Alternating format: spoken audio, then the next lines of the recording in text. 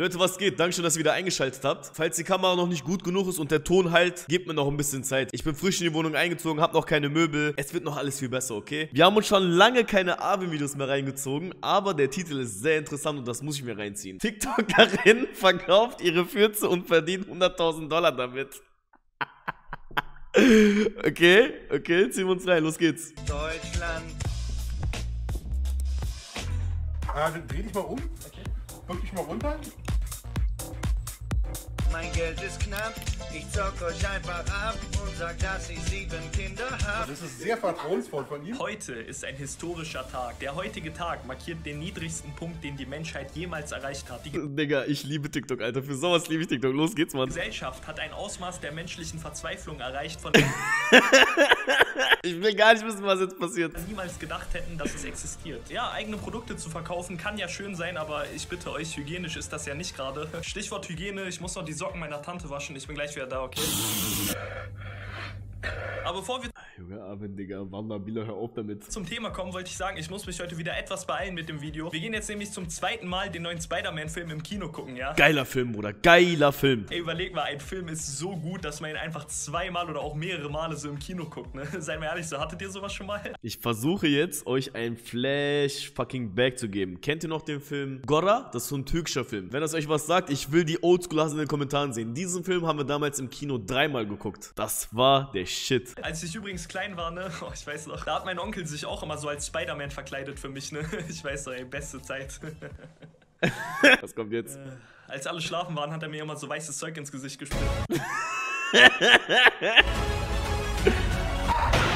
So, meine Schatzis, ich wollte mich mal vom tiefsten Herzen dafür bedanken, dass ihr alle so krass hinter mir standet letzte Woche. Ihr habt gesehen, es gab ein bisschen Beef und wisst ihr, was, was so für mich das Lustige Das habe ich tatsächlich verpasst, Alter. Muss ich mir noch reinziehen. amerikanische TikTokerin verkauft ihre Fürze. Ja, sie macht das wirklich. Das erste, was ihr euch natürlich fragt, ist, wer kauft sowas? Ja, okay, klar, ihr habt den Titel zwar gelesen. Ja, sie hat Digga, wie soll man denn einen Furz verkaufen, Bro? fett Kohle gemacht damit. Wir werden gleich noch die Details sehen, aber Digga, ich glaub das einfach nicht. Guys, today I'm to be showing you a day in the life of a girl who sells her farts in a jar. What the fuck, Bro? Spaß, ob ihr es glaubt oder nicht, aber sowas ähnliches wurde auch mal in Deutschland gemacht. Und zwar hat damals ein Rentner in Berlin einfach seine Fußnägel in Erdnussbutterdosen verkauft. Bah, Bruder, was passiert hier, Alter? So, ich weiß nicht, ob ihr die Story kennt, aber ohne Spaß, das Ganze Ey, ist Bruder, absolut... ich hab richtig Hunger. Komm mal Alles jetzt. klar, Bro, ich deck schon mal den Tisch, ich bin gleich da.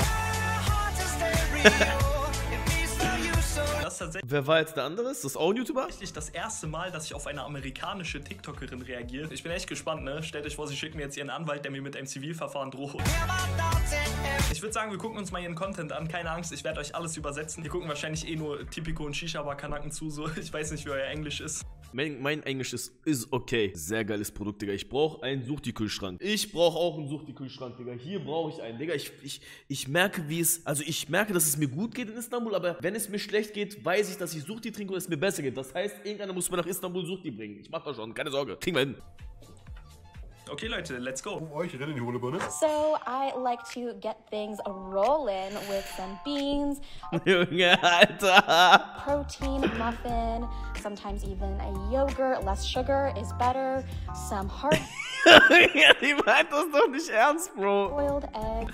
Oh, Digga, die war richtige Hall. Andere Influencer war immer so, ja, das ist meine Schminke von Sephora. Ja, und ich zeige euch, wie man furzt, Das ist meine was man essen muss. Ey, Bruder, bitte. Jacke von der Zara. An der Stelle, Rudi, Furzen brauchst du nicht zu zensieren. Mittlerweile zensierst du echt zu viel. Und sie einfach so, ja, das sind Proteinmuffins und Bohnen, die ranzige Fürze für euch intensivieren. Bro, was ist das vor allem? Wie stellt man sich das vor? Die steht ja doch so richtig dahinter, ne? Nochmal, das zeigt eigentlich, wie verschieden Influencer-Frauen alle so sind. Uh, while I wait for those farts Während ich warte, bis sich die bilden. develop, Ja. to read. Ah, okay. Sie liest gerne in der Zwischenzeit. smart, love to read. And then after I'm ready to go, I go ahead and, you know, do my work, do my job. Dann tue ich meine Arbeit. Okay. ja, während ich drauf warte, dass sich die Fürze entwickeln, lese ich ein Buch und dann jetzt an die Arbeit. Ne? Sie machen einen richtigen Arbeitsprozess draus. Digga, wie komisch ist das? Stichwort komisch, ey, mir fällt gerade auf, ne? ich, ich bin so unglaublich glücklich. Es war, ich habe einfach vor kurzem, ich habe das erste Mal in meinem Leben etwas gewonnen. Und zwar, guck mal, ihr glaubt mir das nicht. Ne? Guck mal, ich war so am Jackson und aus dem Nichts Jason, Digga. kam so auf der Seite die Meldung, dass ich das neue iPhone 13 Pro Max gewonnen habe.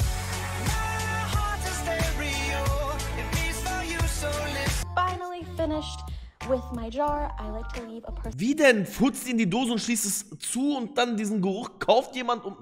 Was? personalized note. I want to thank you so much to the 97 people who've already purchased their jar of fart. Digga, sie hat 97 Dosen Furz verkauft. As you know, they're on sale right now, 50% off with $1,000. Junge, sie schreibt sogar an jedem eine persönliche Nachricht, Digga. Krass. Plus, hat Vielleicht zahlen die Leute ja dafür. sogar gerade eine Rabattaktion am Laufen, Junge. Krank, Alter. Wie schwachsinnig ist das denn? Alexa, wie viel Geld habe ich gerade auf meinem Bankkonto? So, die Kamera hat gerade einen kleinen Defekt, es äh, kommt nicht wieder vor, sorry dafür. Jetzt war Spaß beiseite. Ich weiß doch, als ich vorhatte, auch mal mit so einer Sache Geld zu verdienen.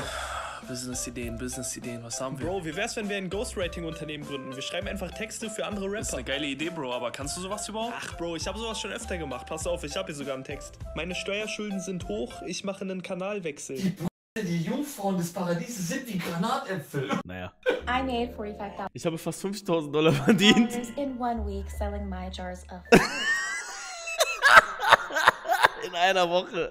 and ever since my last TikTok went viral, I've been getting a lot of questions such as how long Wie lange halten die Fürze? last, Bro, was für Junge, Alter, was passiert hier? Das ist doch Verarsche, Bro. 50.000 Dollar in einer Woche hat sie damit verdient. Überleg mal, andere müssen ein Jahr lang dafür arbeiten gehen, Junge. Was ist das? Ja, sie hat eine Woche lang in Dosen gefurzt und hat Geld verdient, Bro. Und im Video davor hat sie ja gesagt, dass fast schon 100 Leute gekauft haben. Oh, wa warte, warte, warte.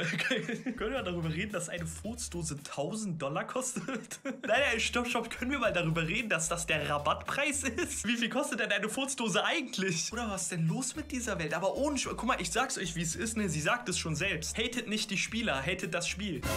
Nein, nein, es ist nicht so, wie du denkst. Das ist alles ein Missverständnis. Bei Gott, ich verachte die Leute, die sowas kaufen, aber ihr gönne ich das vom Herzen. Wisst ihr was? Ich versuche meine Freundin auch mal zu überreden, dass sie in so ein Business einsteigt, okay? So ein stabiles Nebeneinkommen wäre doch nicht schlecht, oder Schatz? Ja, er hat keine Freundin. Oder Schatz? Schatz. is how long do the farts Wie lange halten die Fürze, okay? last? And the smell is most prominent for Geruch ist meistens einfach für die ersten zwei Tage, the Bro. first two days, but as I Bro, die meinen das noch nicht ernst, Alter. like to say, one whiff makes Ein Hauch erschafft Erinnerungen, die ein Leben lang bleiben. Ich muss mir auch so einen Spruch für Sucht dir ausdenken, Digga. Such dich lieber nicht, Mann. Wir brauchen mal neue Sprüche. Ah, an der Stelle, ich mach mal kurz Eigenwerbung. Um 21 Uhr, also wenn das Video online gekommen ist, checkt mal die Instagram-Seite ab. Alle Leute, die jetzt Suchti folgen und in den Kommentaren bei dem letzten Video mitmachen mit Kaum to Suchti, unter allen Leuten verlose ich 100 Boxen Suchti nach Auswahl. Deswegen checkt eure DMs morgen ab und folgt Suchti, würde mich freuen. Was? Okay, äh, warte mal kurz. Die Leute geben also 1000 Dollar aus für so eine Furzdose, die gerade mal zwei Tage lang riecht. Ich will ihr jetzt nicht helfen oder so, ne? Aber Schatzi, ich küsse dein Herz. Komm einmal Mustafas Gemüsekebab hier Berlin-Steglitz und ein Furz hält bis nächste Ramadan. Astagfirullah. Astaghfirullah, sorry.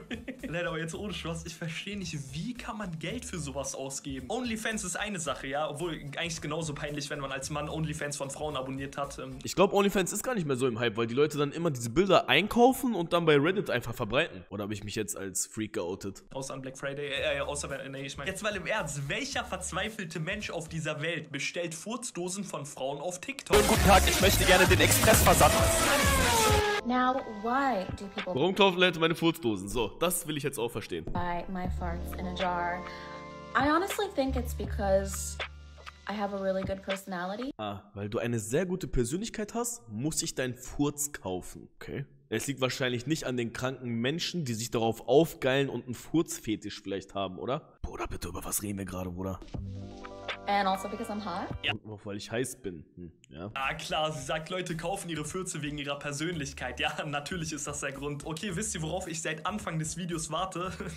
auf meine Bestellbestellung. Ich meinte auch, ich warte darauf, dass die erste Frau in Deutschland das auch macht. Ihr kennt das ja, diese Trends werden immer übernommen. Erst machen es die Leute in Amerika, Ne, ich glaube, in Deutschland sich das keiner. die Leute hier belächeln es und danach machen das die Leute hier auch und sagen, Wir haben Amerika seine Mutter gefickt. klar, ihr kennt mich, ich unterstütze sowas natürlich nicht. Ich möchte gerne den Expressversand. Aber jeder wie er will, ne? Macht Business wie ihr wollt. Ihr, kennt das ja so, jeder muss irgendwie Brot nach Hause bringen. Zieht Ja, kackt und äh, pisst in Dosen, Bruder, und verkauft es bitte. Jeder muss irgendwie Geld verdienen. Zitat von Sammy, wie er so schön sagt, auch wenn in Krisen das Mamas Tränen, Walla Para fehlt, Bruder Allianz Arena. Auch wenn in Krise das Mamas drehen, von der Vater fehlt, Bruder Allianz Arena. Ja, Leute, das war's wieder mit dem Video.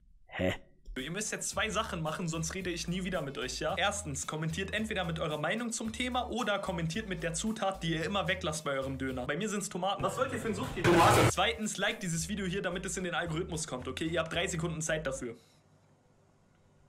Like jetzt. Bleibt Oder ich würde gerne liken, aber ich kann mich nicht anmelden, Alter. aktiv, grüßt eure Tanten von mir, passt auf euch auf und vergesst niemals. Rouladen machst du zum Beispiel so Stroh, Zeug, was dann als Beef Jerky irgendwo. Deutschland, mein Geld. Das hat er auch seit 80 Jahren in seinem Outro, ne? Okay, ich bin, äh, ja, schockiert, Bro. TikTok hat wirklich sehr viel zu bieten, meine Damen und Herren. Falls ihr auch ein erfolgreiches Geschäft starten wollt, verkauft eure Fürze. Und ja, ich wünsche euch viel Erfolg dabei. Wenn ihr wollt, dass wir auf weitere Videos von Arvin reagieren sollen, dann gebt auch diesem wieder einen Daumen hoch, abonniert den Kanal und schreibt auch gerne eure Meinung hier in die Kommentare, Bruder. Ich bin raus. Passt auf euch auf, wir sehen uns morgen wieder.